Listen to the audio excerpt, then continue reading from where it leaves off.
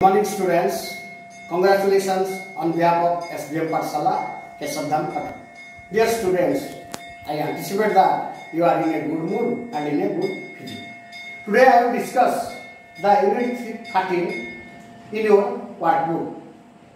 There are some Oriya sentences. We have to convert these Oriya sentences into English. That means, in other words, we may say that we have to translate into English.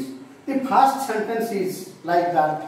ପିଲାଟି ନିଜେ ଆସି ତାର ପ୍ରମାଣପତ୍ର ନେଇଯାଉ ପିଲାଟି ନିଜେ ଆସି ତାର ପ୍ରମାଣପତ୍ର ନେଇଯାଉ let the child take his certificate himself let the child take his certificate himself question number two ମୋ ଭାଇ ଜାହାଜ ଚଳାଇବା ଶିଖିବାକୁ ଚାହୁଁଛନ୍ତି ମୋ ଭାଇ ଜାହାଜ ଚଳାଇବା ଶିଖିବାକୁ ଚାହୁଁଛନ୍ତି My brother wants to learn selling ships.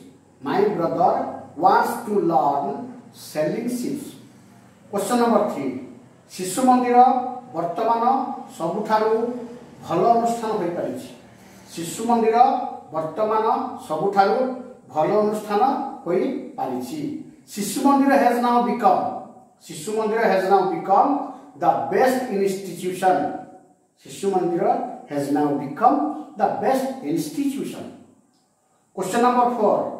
ତୁମ ବିଦ୍ୟାଳୟରେ ପ୍ରାର୍ଥନା ଗୃହ ନିର୍ମାଣ ହୋଇଛି କି ତୁମ ବିଦ୍ୟାଳୟରେ ପ୍ରାର୍ଥନା ଗୃହ ନିର୍ମାଣ ହୋଇଛି କି has a prayer hall been built in your school has a prayer hall been built in your school question number five Rathyatra Odisha ସାରା ପାଳନ କରାଯାଏ रथजात्रा ओडा सारा पालन कराए the car festival is observe all over Odisha the car festival is observe all over Odisha question number six बहु डेरी रास्ता टी मराम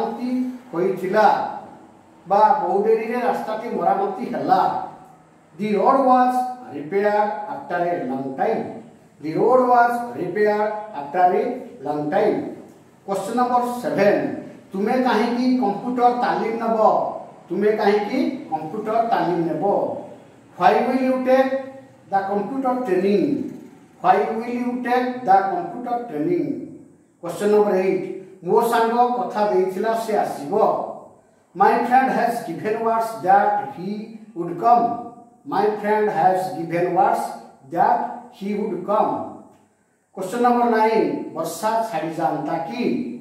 I wish it stopped raining. I wish it stopped raining. Question number 10. Se to deri re asi pahunchi bo. Se He will arrive late. He will arrive late.